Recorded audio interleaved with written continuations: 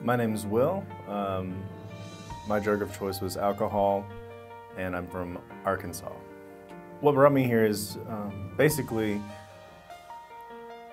I didn't know who I was anymore, what I was doing, and sometimes I didn't know where I was.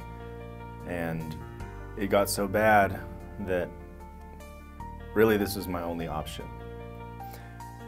And if I had chosen to stay where I was and do what I was doing, I might not be alive right now. Um, Palm Partners helped me by giving me not only really great resources the, at the facility, but the staff and the clients as well really help you develop and learn about coping mechanisms um, and give you the strategy on how to implement them in your own life. If you're struggling with addiction, I would encourage you to reach out to Palm Partners. They have the help you need. If you or someone you know is struggling, call 888 508 7072 now. That's 888 508 7072.